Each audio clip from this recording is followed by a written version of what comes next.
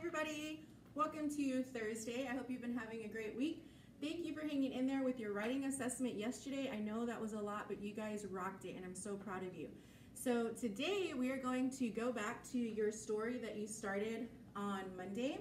You guys at this point have already created a brainstorming map. You already have a plan in place. So now we want to begin a draft. So remember the draft is only the first version of your story. This is where you get to just put all your thoughts down, make sure they're nice and organized, and then we're going to go back to edit, revise any grammar, any sentences that we can make stronger uh, with more descriptive words, and then finally we publish. So, as you begin your draft today, it's really important that you use your plan that you made out.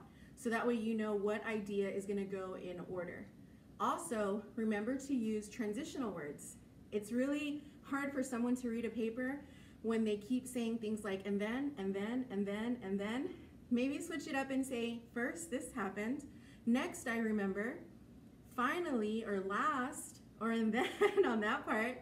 Uh, so be very careful with how you're transitioning your paragraphs and your sentences. Make sure that it flows very nicely for the reader. We want to be interested while we're reading, right?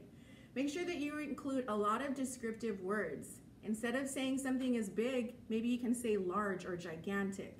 Maybe you can use some adjectives to describe what it smelled like, what it sounded like, what you saw, what you felt. You want, the, you want to move the reader with your words. There's power in your words. So go ahead and start the draft today. If you're like, Ms. Paul, I really am not sure how to start it, I'm gonna share a second video and I want you to go look at that video. It's the same one that Ms. Thompson and I shared in our small group about writing the draft. But if you go to like minute two and three of the video, it literally will show you the draft that's being written from her ideas, from her plan. So that will help a ton, okay?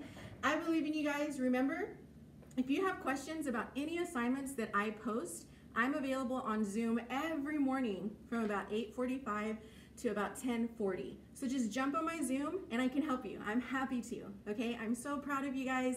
Hang in there. I can't wait to read what you guys come up with. Have a great day. Bye, everybody.